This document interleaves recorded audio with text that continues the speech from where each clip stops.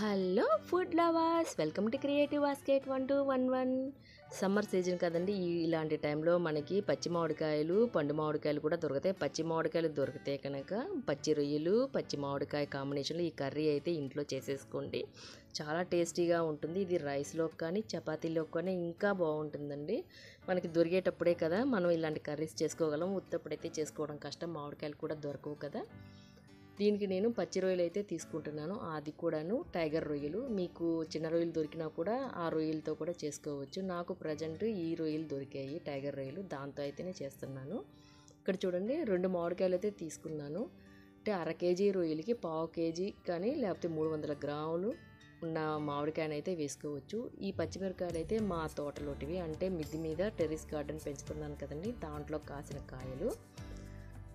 ఇప్పుడు ఈ పచ్చి మామిడికాయ పచ్చి రొయ్యలు పచ్చిమిర్చితో కాంబినేషన్లో మనకి రొయ్యల కర్రీ అయితే రెడీ అయిపోతుంది. చూడండి దానికి నేను మామిడికాయలని సన్నగా పొడుగ్గా కాకుండా ఇలా పల్చగా తొక్క తీసి ఇలా పల్చగా తీసుకున్నాను. దీనికి ఒక స్పూన్ అల్లం వెల్లుల్లి పేస్ట్ మాత్రమే యాడ్ చేసుకుంటున్నాను. మసాలా వేసుకుంటే అస్సలు బాగోదు. దీనికి ఉల్లిపాయలు అయితే ఒక మూడు వందల గ్రాములు తీసుకున్నాను అర కేజీ ఉల్లిపాయలకి.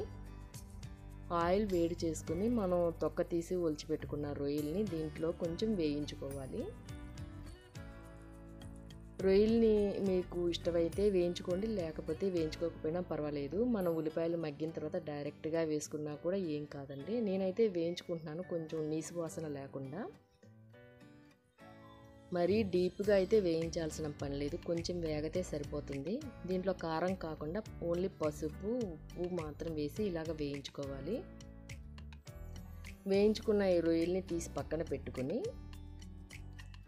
ఆ మిగిలిన ఆయిల్లో కొంచెం ఆయిల్ ఎక్కువ వేసుకొని ఉల్లిపాయల్ని సన్నగా చీల్చినట్టుగా మనం కట్ చేసుకుంటాం కదా ఆ విధంగా కాకుండా ఈ విధంగాను మిక్సీ పట్టుకోవాలి. కొంచెం కచ్చి పిచ్చిగా మరీ మెత్తగా కాకుండా. ఆ మిక్సీ పట్టుకున్న మిశ్రమాన్ని కూడాను కొంచెం ఆయిల్ ఎక్కువ వేసుకుని దాంట్లో దోరగా వేయించుకోవాలండి.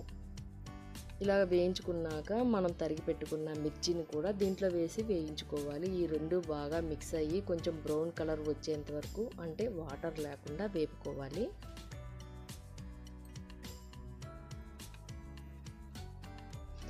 ఏ కర్రీకైనా కూడాను ఆయిల్ బయటకు వచ్చేంత వరకు కొంచెం స్లో ఫ్లేమ్లో పెట్టుకొని మనం ఉల్లిపాయలు మగ్గనిస్తే కనుక టేస్ట్ అయితే చాలా బాగుంటుందండి.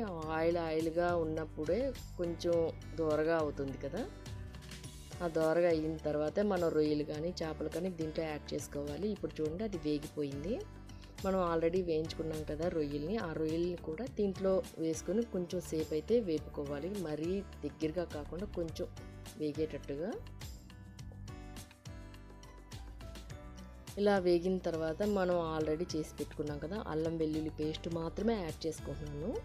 అది కూడాను కొంచెం దీంట్లో వేసుకుని వేయించుకోవాలి. ఇది ఈ మసాలా అంటే అల్లం వెల్లుల్లి వేయించుకోవడం వల్ల కొంచెం స్పైసీనెస్ వస్తుంది. మసాలా వేగుతుందండి. అదే వాటరీగా ఉల్లిపాయలు కనుక ఉంటే దాంట్లో వేస్తే వేగదు ఉడికిద్ది అనమాట ఇప్పుడు అవి మూడు వేగిపోయిన తర్వాత మనం తరిగి పెట్టుకున్న మామిడికాయ ముక్కల్ని కూడా దీంట్లో వేసుకోవాలి. ఇవన్నీ కూడాను బాగా మిక్స్ చేసుకోవాలి. చూడండి మొత్తం అన్నీ బాగా మిక్స్ చేసుకున్నాక మూత పెట్టి ఒక ఐదు నిమిషాలు అయితే ఇలా వదిలేసిన తర్వాత చూడండి ఎలా ఉందో. కొంచెం మనకి వాటరీగా ఉంటుంది ఉడుకుతుంది మామిడికాయ కూడాను. మామిడికాయ అంటే ఫుల్గా ఉడకపోయినా కొంచెం ఉడికిన తర్వాతే ఉప్పు కారం పసుపు వేసుకోవాలండి. ముందుగా వేసుకుంటే పులుపుకి ఈ కారం వేసిన తర్వాత అస్సలు ఉడకదు. మనకి అది మగ్గిన తర్వాత ఒక స్పూన్ కారం హాఫ్ టేబుల్ స్పూన్ పసుపు కాల్ టేబుల్ స్పూన్ ఉప్పు వేసుకుని మొత్తం అంతా మిక్స్ చేసుకుంటున్నాను. ఇవన్నీ బాగా మిక్స్ చేసుకున్నాక ఒక ఐదు నిమిషాలు అయితే అలాగే వదిలేయాలండి.